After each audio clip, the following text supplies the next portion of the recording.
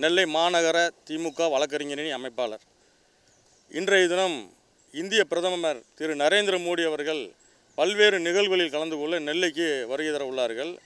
அதையொட்டி நீதிமன்றத்திற்கு எதிரே நிகழ்ச்சி நடைபெறும் இடங்களில் விளம்பர பதாகைகள் மற்றும் ரோடு தெருவெங்கும் கொடிகள் தோரணங்கள் கட்டப்பட்டுள்ளன.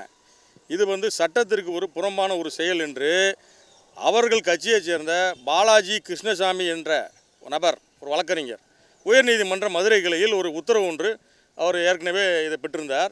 அந்த உத்தரவின் அடிப்படையில் கடந்த இருபத்தி ஏழு பத்து ரெண்டாயிரத்தி இருபத்தி மூணு அன்று தமிழக மாண்புமிகு விளையாட்டு விளையாட்டுத்துறை மற்றும் இளைஞர் நலன்துறை அமைச்சர் திரு உதயநிதி ஸ்டாலின் அவர்கள் கலந்து கொள்ளும் நிகழ்ச்சியில் வைக்கப்பட்டிருந்த விள- விளம்பர பதாகைகள் அனைத்தும் அந்த உத்தரவின் அடிப்படையில் அகற்றப்பட்டது. ஆளும் கட்சியாக நாங்கள் இருந்த போதும் கூட உயர்நீதிமன்ற உத்தரவுக்கு கட்டுப்பட்டு அந்த பதாகைகளை அகற்றினோம். ஆனால் இன்றைய தேதியில் அவர்களே பிஜேபி சார்பில் ஒரு உத்தரவையும் வாங்கி இன்று அந்த உத்தரவை மீறி இன்றைக்கு விளம்பர பதாகைகள் மட்டும் வைக்கப்பட்டு ரோடெங்கும் போக்குவரத்திற்கு நெரிசல் ஏற்படும் வகையிலும் பொதுமக்களுக்கு அச்சமூட்டும் வகையிலும் அது வைக்கப்பட்டுள்ளது.